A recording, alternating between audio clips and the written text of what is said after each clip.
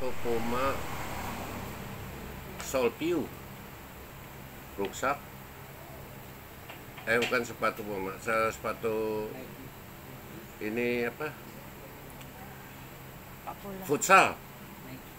Dia mau dijadiin katanya mau dijadiin sepatu bola. Jadi ini pasang kakak kembali. Ini sudah kuat dipasang nah, mesin bajanya ada di dalam. Jadi futsal kita jadiin sepatu bola.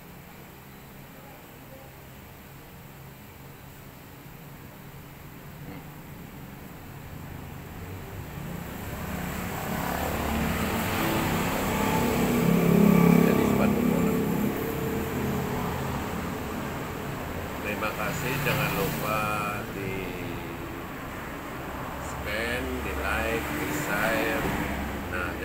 dari sepatu yang jelek jadi tadinya yang mau dibuang ke tong sampah sudah bisa bagus kembali